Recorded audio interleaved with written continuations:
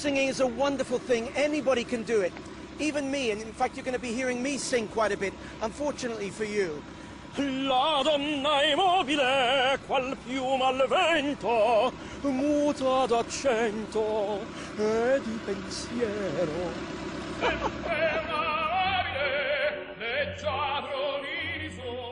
Opera is a passionate and thrilling entertainment. And within 200 years of its birth in Italy, it was so popular that even delivery boys were singing its catchy tunes. In the 19th century, opera in Italy is firing on all cylinders. Rossini is at the height of his powers. Donizetti and Bellini are writing stirring romantic operas. Into this august company is born a genius who will take opera to its zenith. Yes, Giuseppe Verdi.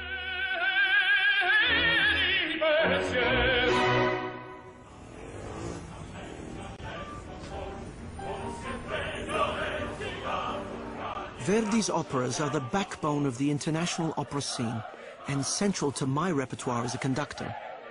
Here at the Royal Opera House in London, where I'm music director, we're rehearsing one of his great masterpieces, La Traviata.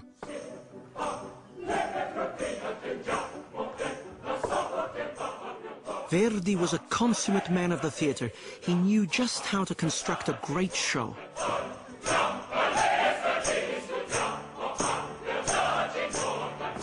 Verdi to me is quintessentially Italian opera. This is this is the real ragu sauce with pasta.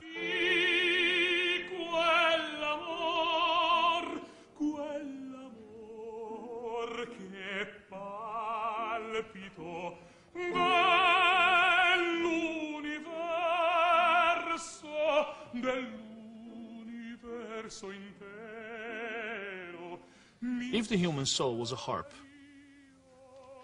and every string of the harp represented a, a, human emotion. Verdi was plucking the right string at the right time for the right emotion.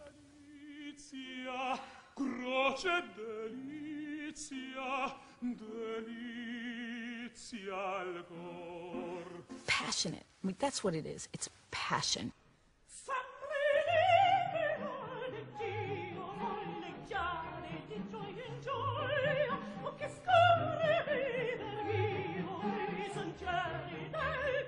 Where did this passionate music come from? Verdi was born in the fertile plains of Emilia-Romagna in northern Italy in 1813. While the physical landscape was peaceful enough, the political situation was not. Italy was under French Napoleonic control, but that rule was being challenged in the north by the Austrians and the Russians. I'm in the village of Le Roncole, where Giuseppe Verdi was born.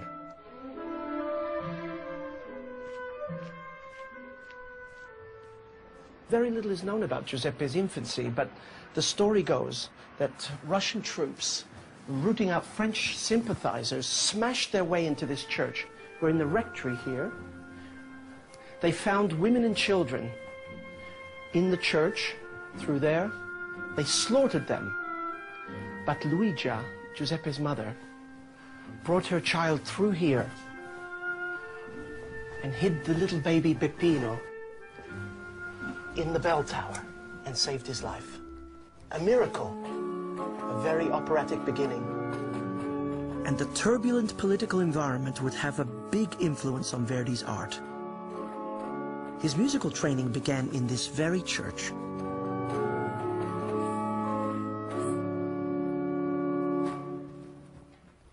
As a boy, Verdi was obsessed by music. He studied with the village organist and by the age of nine had the job himself. He played on this very instrument. When he was a teenager, his parents sent him to study with the organist in nearby Busseto. Here he was noticed by the rich local merchant and music lover Antonio Barezzi, who soon became his sponsor now, Barezzi had six children of his own, but he invited Verdi into his house to stay and encouraged him to compose all sorts of music for soirees and concerts in his sophisticated salon. And while he was here, Verdi fell in love with Barezzi's daughter, Margherita, and eventually married her. When he was 18, Verdi applied to the celebrated Milan Conservatory, but he was rejected. Perhaps because he had an unorthodox piano technique. Whatever the reason, it was an enormous shock, and it may well help explain why his operas have such sympathy for outsiders and the oppressed. Ironically, that same conservatory now bears Verdi's name. Despite the fact that he didn't get into the conservatory, Verdi stayed in Milan and Barezzi paid for him to study privately. He even funded frequent trips to the opera, which at the time was dominated by Rossini, Bellini and Donizetti. These operas were in the bel canto style. Bel canto, literally beautiful singing. And one of the new hits which Verdi certainly would have seen was Donizetti's Lucia di Lammermoor. The mad scene in particular caused a sensation. Here it is sung by the great soprano Joan Sutherland.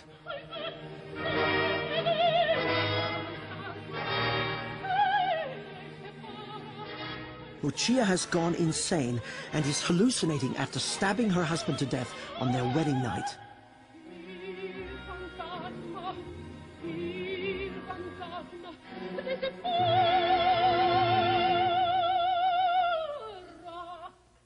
This is high romanticism, all the rage in art and literature in the early 19th century.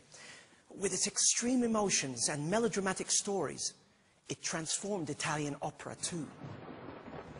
Donizetti took the novel The Bride of Lammermoor with its mysterious Scottish setting by Sir Walter Scott and turned it into an opera that would epitomize the new Italian romantic style. This idea of romanticism was obviously enormously important for Donizetti. He once wrote to a librettist. A librettist was asking, well, what kind of topic do you want? And he said, voglio amor e amor violento. I want love, violent love. It's not a great pickup line, but it worked very well for Italian opera at that period. And the women, the heroines, are usually reduced to their most impassioned and desperate state.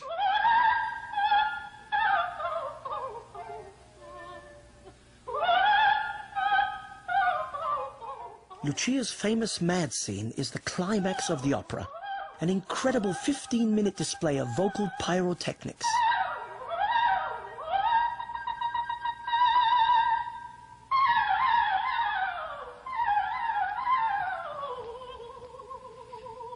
To understand how Donizetti used the voice to dramatize Lucia's insanity, I'm going to work on it with the great bel canto singer Diana Damrau.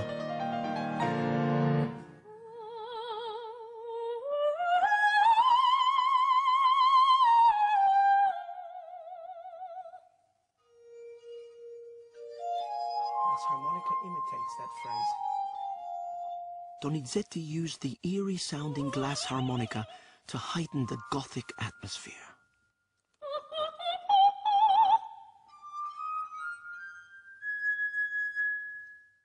because it's an extreme situation, um, you can use extreme methods of singing, colors, um, dramatic outbursts. Um, you, you must really play with all the skills you have.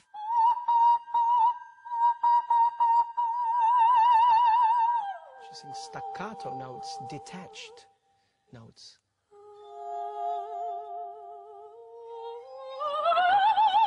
Sees the blood on her dress.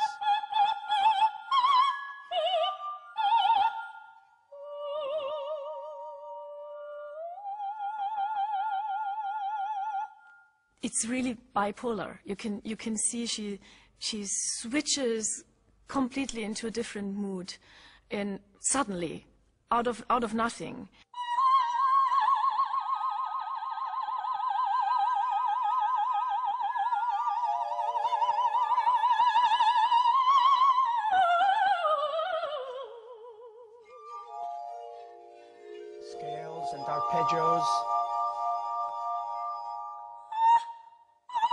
Lucia, with its extreme emotions and primary color passions, was an opera that would certainly influence the young Giuseppe Verdi. The orchestra rejoins now.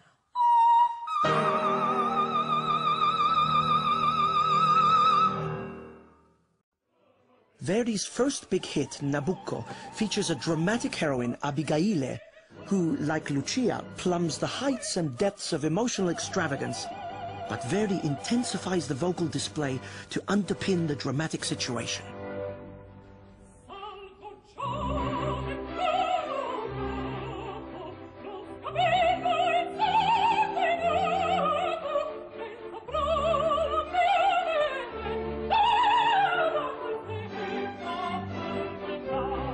Nabucco tells the biblical story of the Jews in exile in Babylon, and it had powerful resonances for Italians at the time.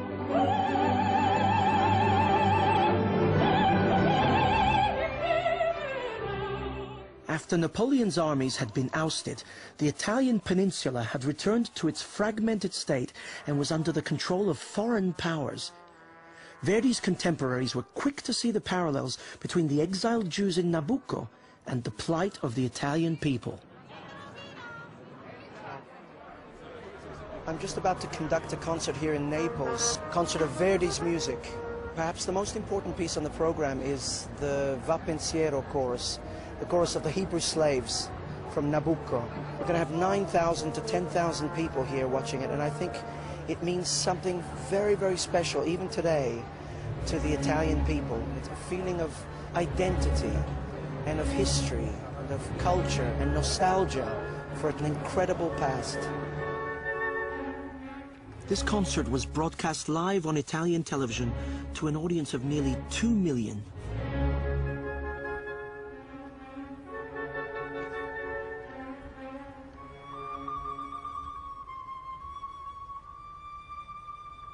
In Nabucco, Verdi found his true voice.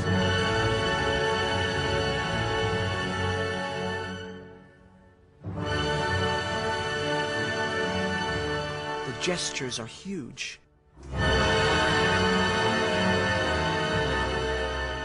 Calling for the audience's attention.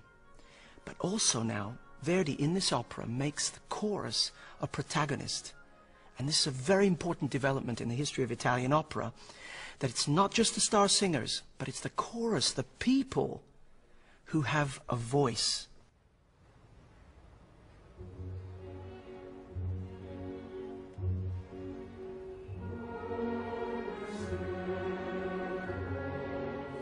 Praying for their freedom, for their release on golden wings.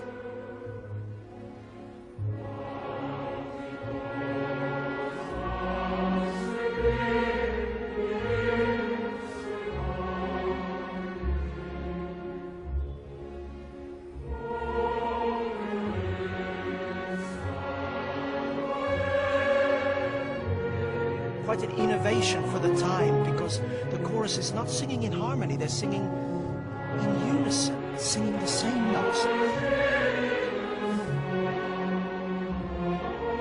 They talk about the Jordan, Le Rive Salute, their prayers to greet um, the River Jordan, their Zion's destroyed temples. Oh, my country, so beautiful and lost.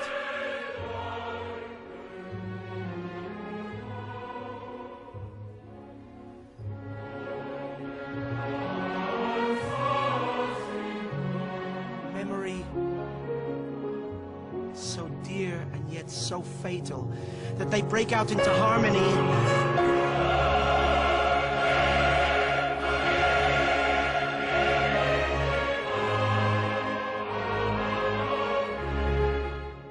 This made Verdi one of the most important figures of the day because he expressed Italian pride, Italian nationalism, and brought the country together.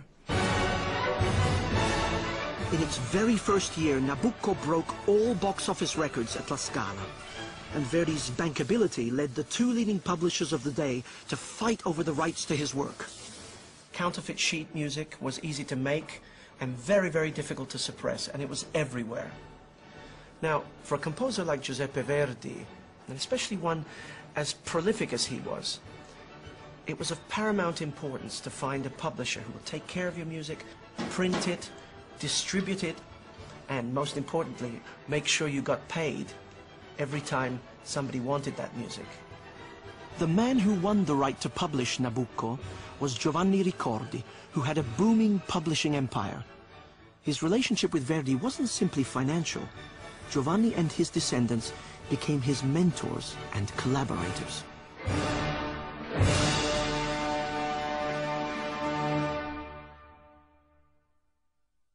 Verdi's private life was as full of drama as any operatic plot. He and Margherita had two children together. But tragically, they both died in their infancy and were followed soon after by their mother. Verdi was left a widower at age 26. Despite his personal trauma, he threw himself into work. The 1840s for Verdi were what he called his galley years, during which, like a slave chained to his oar, he poured out operas, some successful, some not. By the time he wrote Rigoletto in 1851, he'd reached a new creative maturity and significantly, the central character, like Verdi himself, was a widower. But getting Rigoletto to the stage was a drama in itself. Verdi was plagued by the censors who didn't like his choice of subject. It was based on a banned play about depravity at the court of the French king and was going to premiere at La Fenice in Venice. Venice had a reputation, of course, in the past of being, shall we say, more morally relaxed. But listen to this from the Department of Public Order.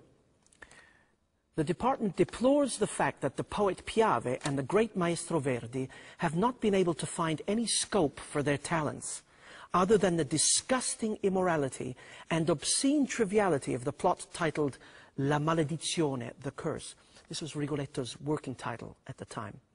His ex Excellency has decided to refuse absolutely the request for its performance the, the idea of Rigoletto was compromised also by the fact that it was based on a play by Victor Hugo, who was known as a Republican and therefore a dangerous character to start with.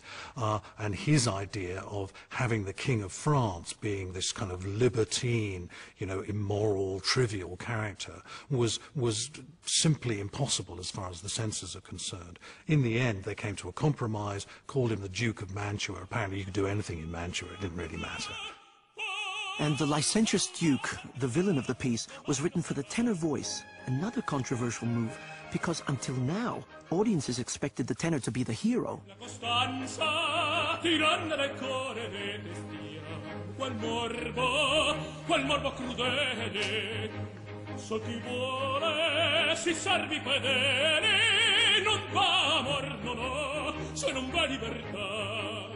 He's turning convention on its head. The tenor is not the hero of the piece. The hero's the baritone. But he's a dark hero.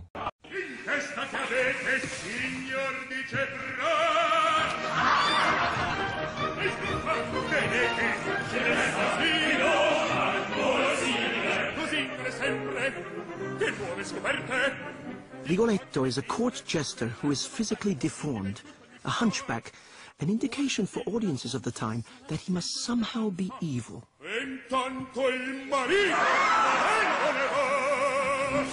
We have to put our mind in that period. Is early 19th century, is almost 200 years ago, and is not easy for anyone to, to write an opera like Rigoletto in that period. This is a revolution change of the structure of the opera. Rigoletto is a heroic figure who is warped and poisoned by the world he lives in. And that world is exemplified by the handsome young Duke, who is utterly rotten to his soul.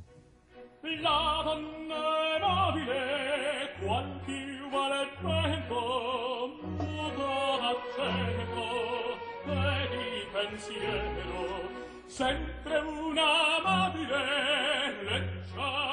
viso, in pianto e e menzognero, la donna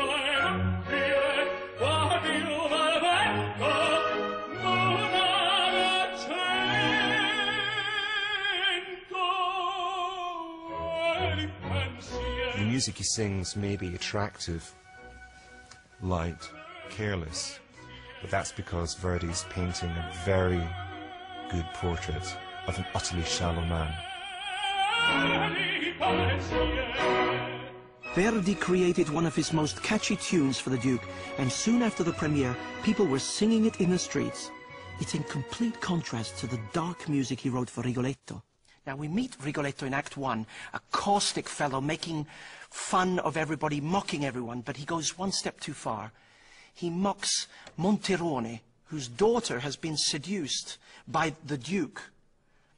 And Monterone puts a curse on him. Now, curse in opera is a very, very important device, and this curse will stay with Rigoletto. He goes home very troubled.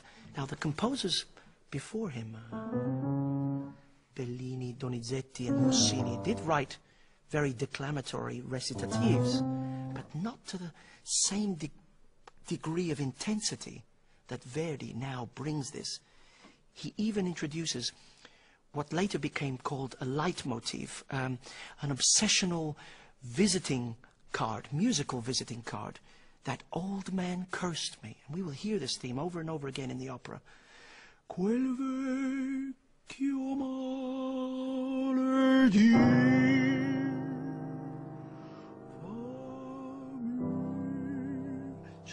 note that bores into him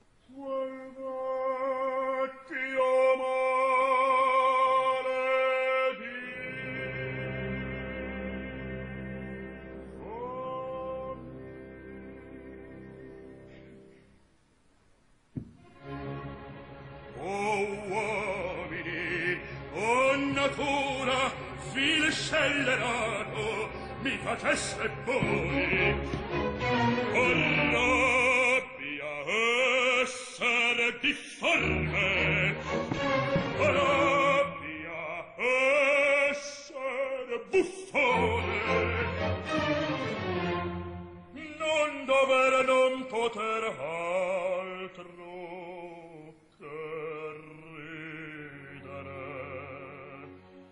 The recitative now has become an enormous expression of his humanity, of his foibles, of, of his worries, of, of his entire psychology. And this is what Verdi has brought forward now in the world of opera, deeper complexity, a much more theatrical pouring out of emotions, of expressions that will touch the audience.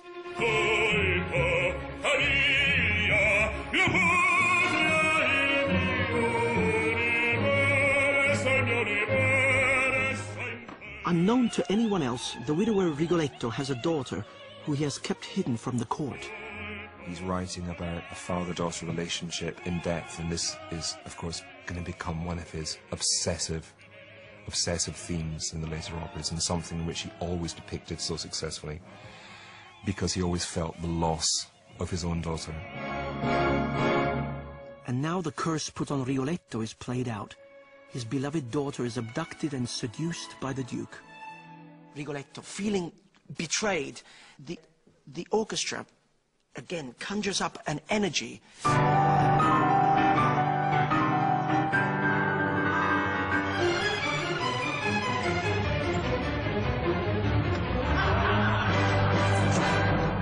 He's saying, you courtiers, you evil race, you accursed race.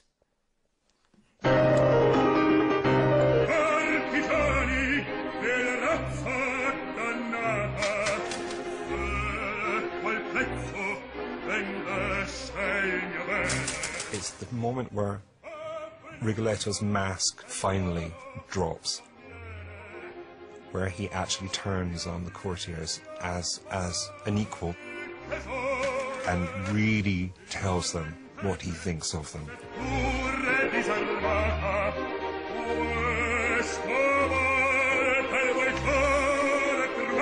He just lets rip. And uh, Verdi does this through a pumping, muscular vocal line.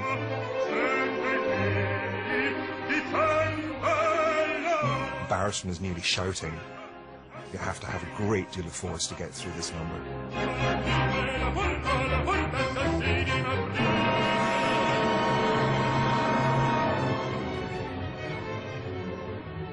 Opera is becoming something that now we recognize as being the most heightened expression of that which is in these, yes, deformed characters, these depraved characters, these flawed people. But they're characters that hold our interest. We want to know what is going to happen. By the time he wrote Rigoletto, Verdi had found love again with Giuseppina Strepponi, a soprano who'd starred in Nabucco. She was to devote the rest of her life to him. But she had tarnished her reputation with past affairs and illegitimate children. And when they came back to Busseto to live in the palazzo Verdi had bought, she was ostracized. People started spitting at uh, in the street and so on and so forth. It became, a, in Catholic Italy, it became a completely different thing. And actually, in the end, more or less isolated her within the household. It was very difficult for her to go out and certainly impossible for her to take part in society. Verdi's anti-establishment liberal mindset naturally drew him towards stories which featured characters that were social outcasts. Take, for example, Violetta in his La Traviata, The Lost One, a Parisian courtesan.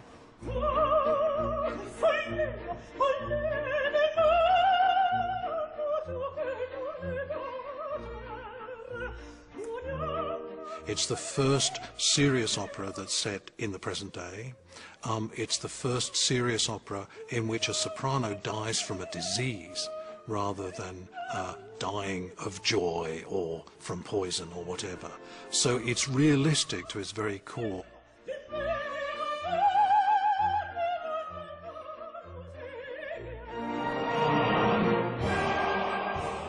La Traviata was based on a Dumas play, The Lady of the Camellias, about a kept woman who falls in love with a youthful admirer.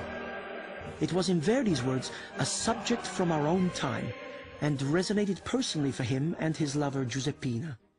Controversially, he wanted to set La Traviata in contemporary Paris in the 1850s. It would have been immensely shocking had uh, the people in La Fenice arrived and seen in contemporary costume that story. But uh, that was a step too far, I think, for the management of uh, La Fenice. The censors did allow the opera to be performed, but like Rigoletto before it, it had to be set in the past. You haven't done the last two times. But when she's thrown against the, the table, just a gasp of shock. In Richard Eyre's production for the Royal Opera House, we've set it in Verdi's day. Violetta, the heroine, played by Renee Fleming, knows she's dying of consumption, but against her better judgment, she falls in love with the son of an impoverished country gentleman. Alfredo is played here by Joseph Calleja. One thing he was very attracted to were, were complicated women. So you get a lot of conflicted um, women who change during the course of the plot and so, uh, and so on and so forth. And the most complicated, the most difficult, the most tortured heroine of all is Violetta.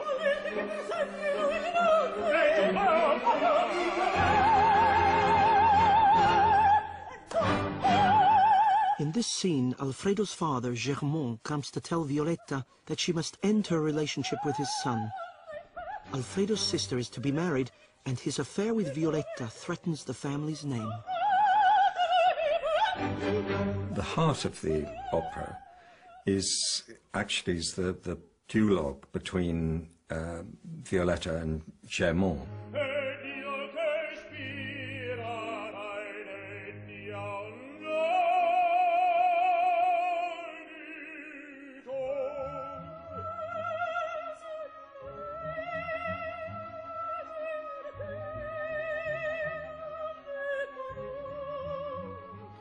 Once again, Verdi is exploring the father-daughter relationship.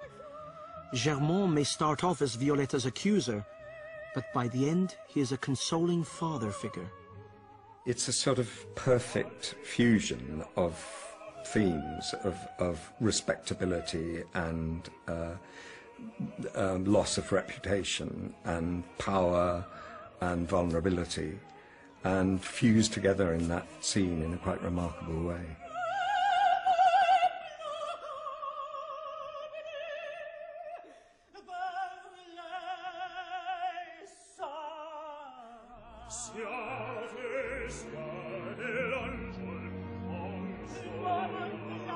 Singing and arguing and singing and arguing, and suddenly time stops.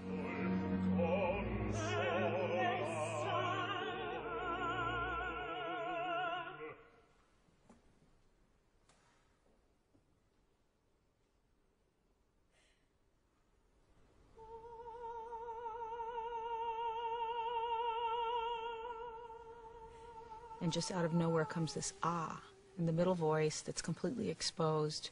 And in that ah is, uh, you know, a lifetime of pain. I think you should come off before, let the orchestra... In rehearsal, Renee and I worked on this very moment.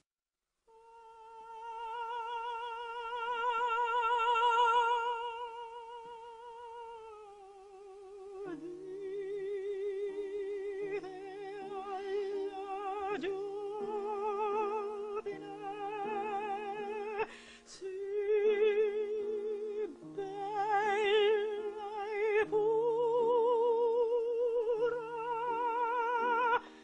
I just want to... There's a lot of important words, but the killer is the word pura. So I would save giving emphasis on the word bella and save it for pura, because that's what you ain't, and that's what he's been implying all Right, along. right, right, right. And that's very, that's very important, okay?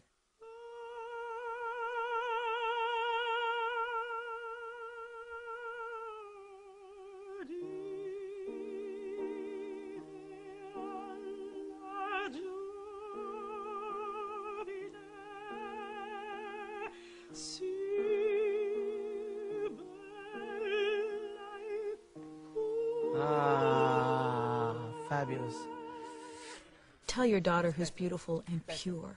You know, like I'm not. Thank you for reminding me that. That's so powerful. Beautiful and pure. You know, it's, it's just, ugh. It's, it, and, and by the way, that moment is absolutely where the opera turns. It's the turning point of the entire piece.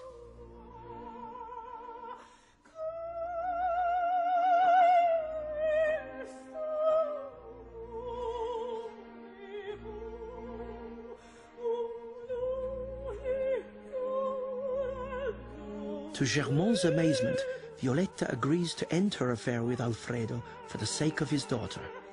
He sees that he this is a wonderful human being, it's a wonderful woman. Her love is true. And therefore, ergo tragic, because he would never back down from his own position that is not possible. It is a it's a he, I think rather than being the bad guy, he realizes he's just the, the very dreary, fateful messenger. Mm-hmm.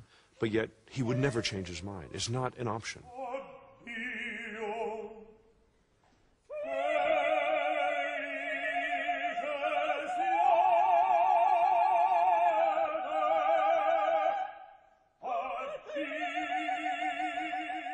Like Alfredo and Violetta in La Traviata, Verdi and Giuseppina sought refuge in the countryside.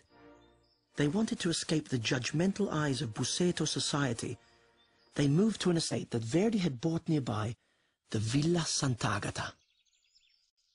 Today it's looked after by a descendant of Verdi's family, Angelo Carrara Verdi. It's a beautiful room. Yes, this is the room of uh, Giuseppina Strepponi. You can see the, the, the room with uh, one bed because uh, in that period uh, they live uh, separate in the house. uh, because uh, every la- the much part of the day they spend uh, separate in uh, their room. This is uh, Verdi's room. Qui lui eh, in questa scrivania eh, componeva. This is the desk where he composed.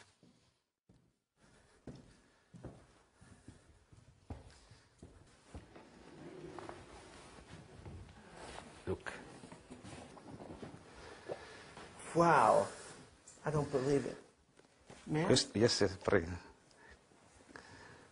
Ah, this is the famous cylinder hat in Boldini's famous painting. I daren't put it on, but I.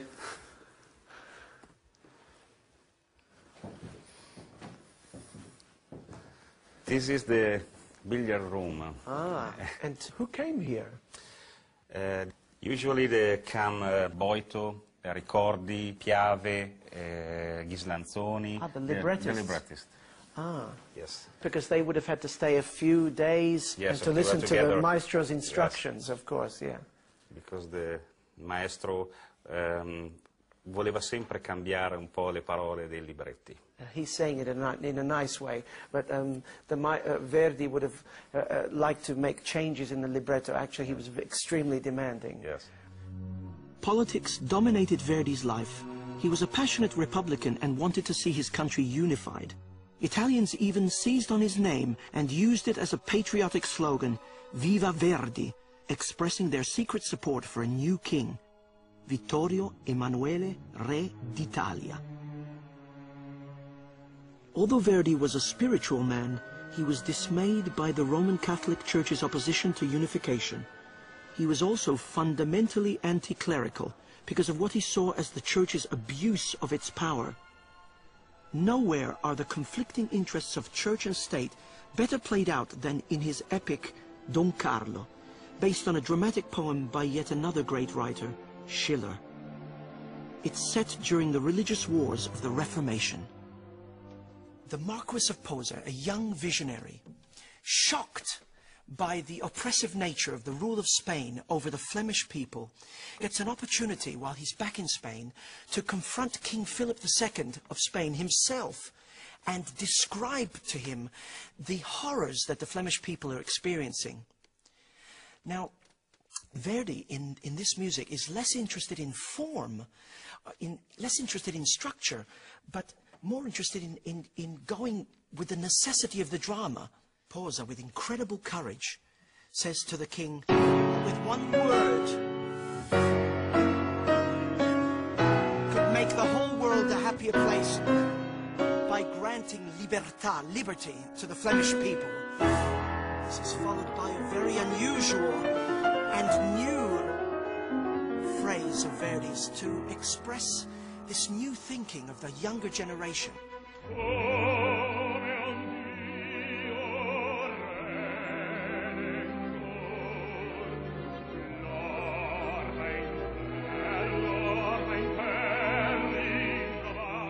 music's doing is doing what Verdi often does, which is to express a vivid sympathy for the oppressed and a vivid dismay um, at the forces of tyranny.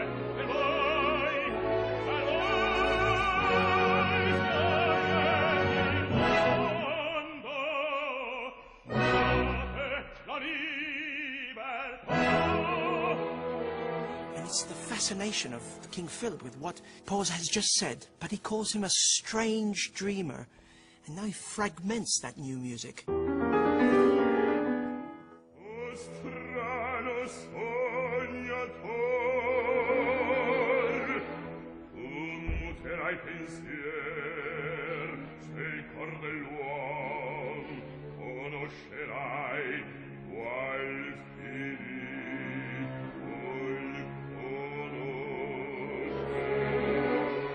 The drama is now driving the music completely. So now what is recitative and what is melody or aria is much more fluid. It's much more difficult to tell what's going on really with form. Now the use of chords here, just singular chords in a slow fashion, is something also very, very new. And he exploits this device. The king has heard nothing. Do not be afraid.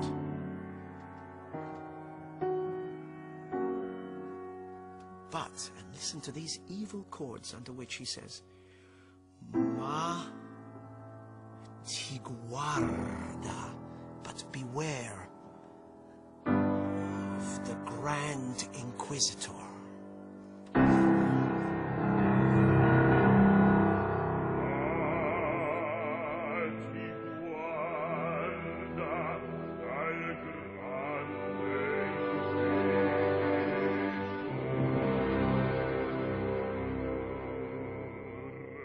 Grand Inquisitor is the essence of a kind of negative, uh, interdicting church. I mean, it's no accident that he loves this idea of the, uh, the leader of the Catholic Church being blind and old.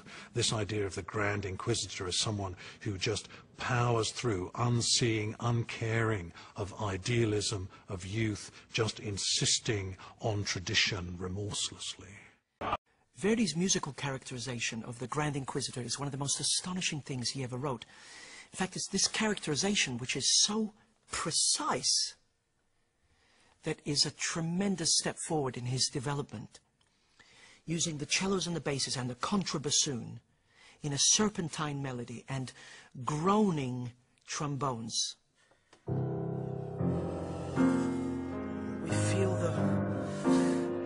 The weight of the church. Now he describes this man as 90 years old and blind. And a symbol of forceful negativity, which is the church of that time.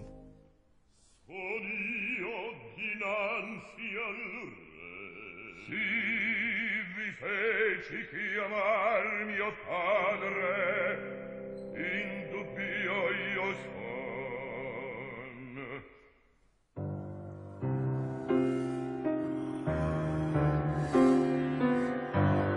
talk about killing his own son. Something so shocking. And of course, the Inquisitor says to him, gives him justification, says, well, God sacrificed his only son.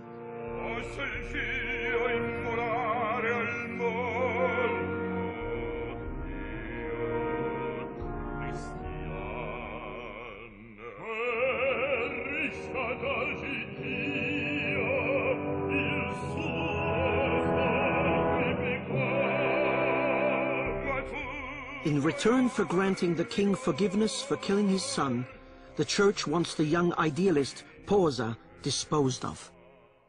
The Grand Inquisitor knows that Posa and the king are very close, but it is these revolutionary, innovative, visionary ideas of Posa that threaten the Grand Inquisitor, threaten the power of the church, threaten the traditions. Posa must go.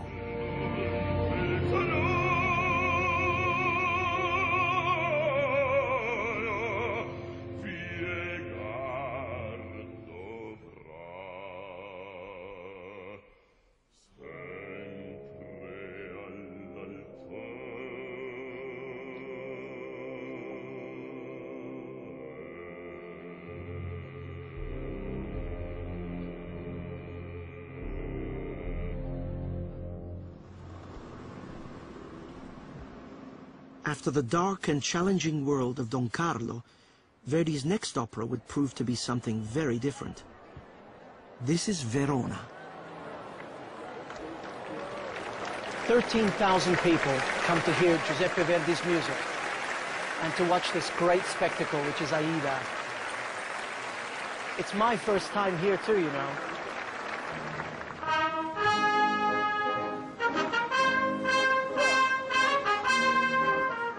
Aida has come to symbolize the epitome of grand opera.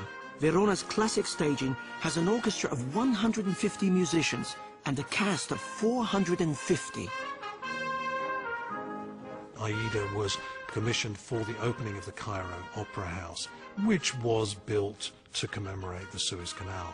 The Cairo Opera House obviously wanted to outdo Paris and French Grand Opera as much as possible, so the idea of Aida was clearly to produce something on an enormous scale, which would sort of create shock and awe in the audience.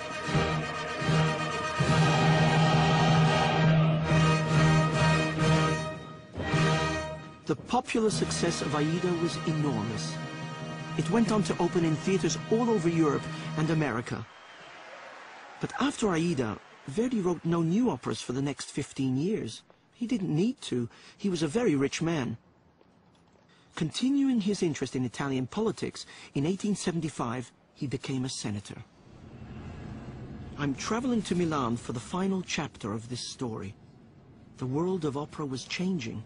In Germany, Richard Wagner's fusion of music and drama in a continuous flow, unbroken by recitativo or aria, may already have influenced Verdi while he was composing Don Carlo. He came to Milan sporadically to oversee productions of his works. You've got to understand that uh, quality at this time was a very much an up and down affair. Verdi's presence would certainly guarantee a certain, shall we say, seriousness of purpose. He was a tyrant. It was during these years that, through the machinations of Giulio Ricordi, his publisher, and the talented librettist Arrigo Boito, that Verdi was slowly lured back by the prospect of setting to music Shakespeare's Othello. Verdi's Othello distills what's in Shakespeare. It's, in a sense, a Shakespearean opera, but uh, it kind of um, takes it to uh, a level of intensity and, and expressiveness that is beyond the, the spoken word.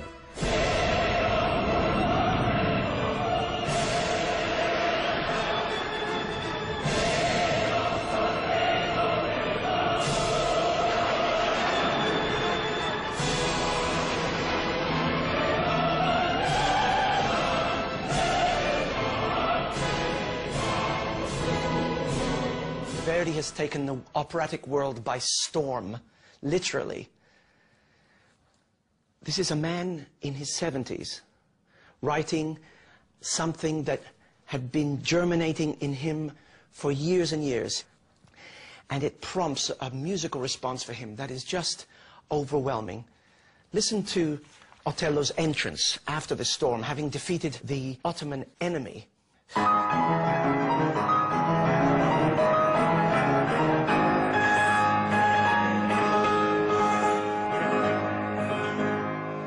Rejoice.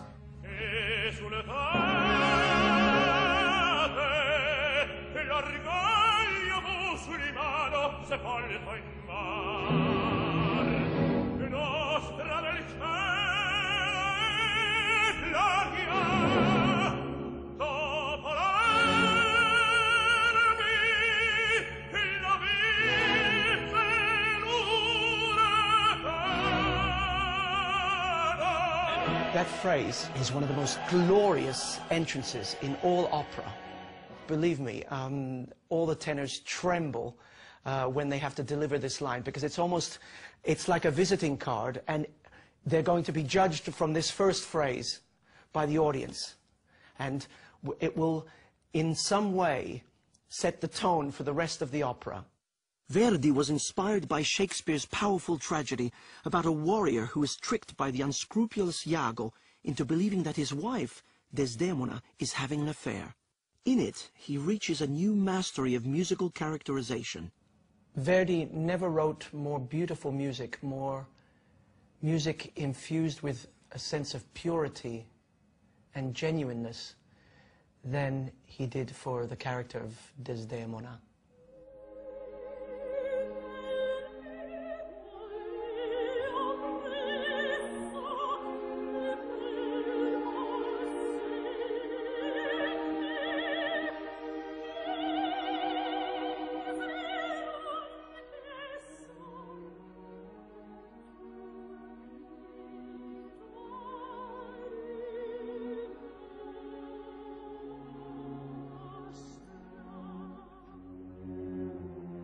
Way to think about Othello is as a kind of commentary on earlier 19th century opera, where you've got um, you've got Desdemona, who is the essence of bel canto, the old Italian tradition, and then you've got on the other side of this Iago, who declaims, who only sings beautifully when he's lying. So he's the modern man. He's the one who's trying to destroy everything.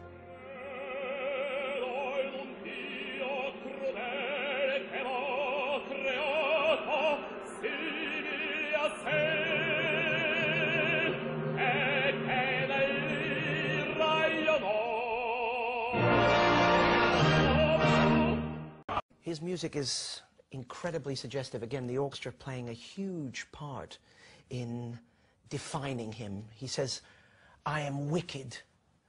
I am a man and I feel the mud of my origin in me. Yes, this is my faith. In other words, that which is evil inside him, the possibilities of evil. Listen to this music. Son scellerà perché son buono e sento il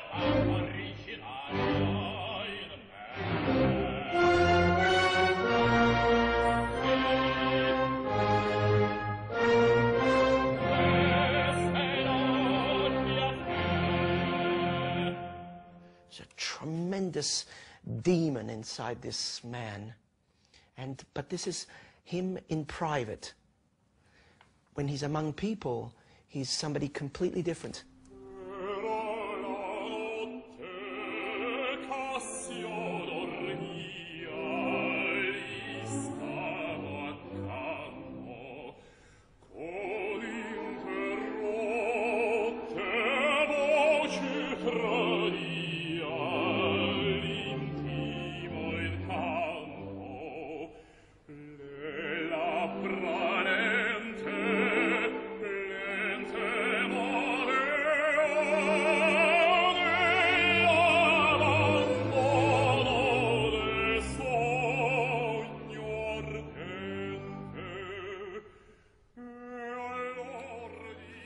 The glory that was heaped upon Giuseppe after the triumph of Otello was something unprecedented.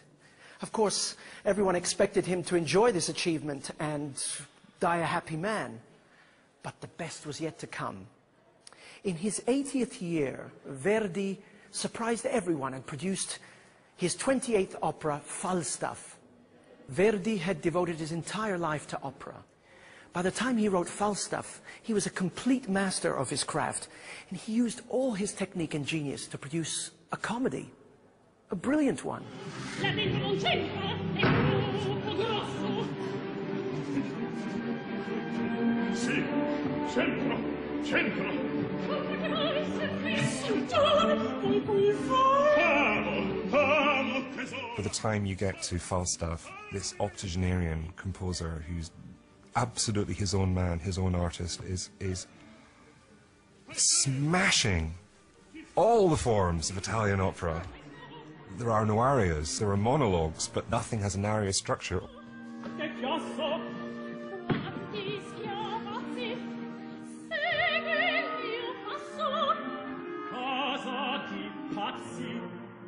It's a miracle uh, for a composer to, to come to this plane now, to embrace comedy.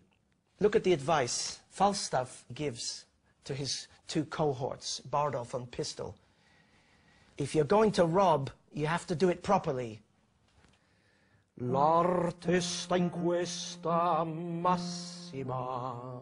L'arte sta in questa massima.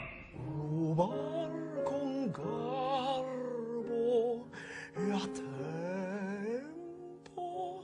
He says, rob with grace and with good rhythm. Rubar con garbo a tempo. Siete dei rozzi artisti! You're rubbish artists!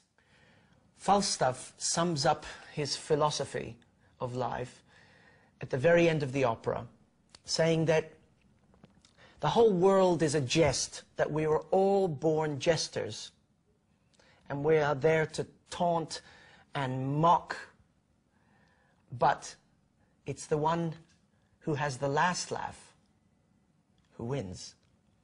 And Verdi sets this philosophical credo, if you like, to music in the most incredible fugue. Now, fugue is um, a piece of music which starts with a theme, Tutto nel mondo è burlando. È nato burlone, burlone, burlone. and then another voice or another instrumental voice will sing that same theme at a different pitch while the other voice is continuing on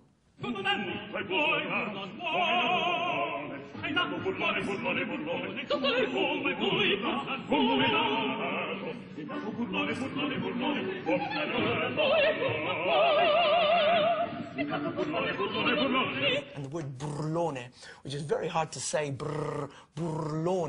Um, we're all born jesters, but this adds to the life of the sound.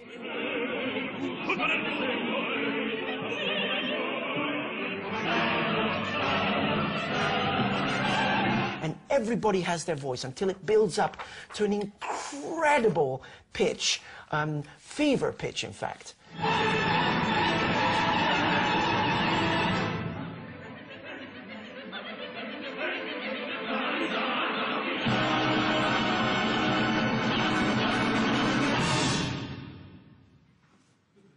Says, Tutti gabbati.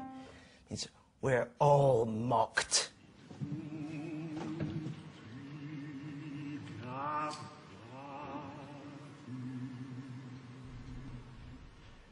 And they have to respond, the rest of them. Tutti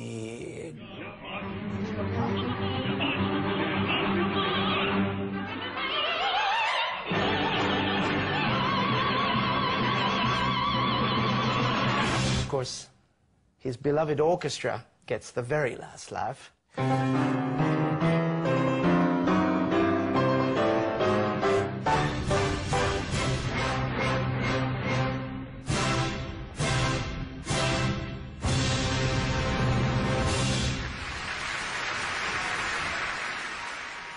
After Falstaff, Verdi lived on for eight years, but there were no more operas.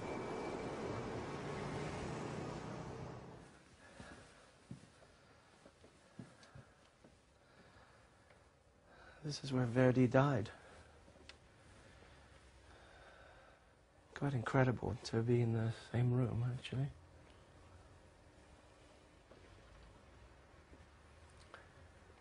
You know, the story goes that um, as he was dying, they put straw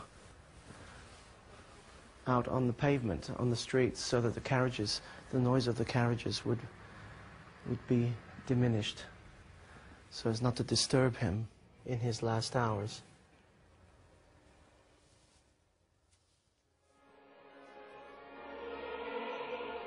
In February 1901, a month after Verdi's death, 300,000 people thronged the streets of Milan to watch the procession taking his body to its final resting place. A huge chorus sang. Naturally, they sang his great hymn to freedom, Va Pensiero, from Nabucco. By the end of his life, Verdi had come to symbolize Italy itself. The operatic succession would now pass to a very different genius, Giacomo Puccini. Opera continues with a taste of the food of Italian opera here on BBC4 tomorrow at 9 with Rick Stein. And then on Wednesday, we ask what makes a great tenor, also at 9. There's a little taster of that coming up in just a second. Next tonight, stay with us for brand new Storyville.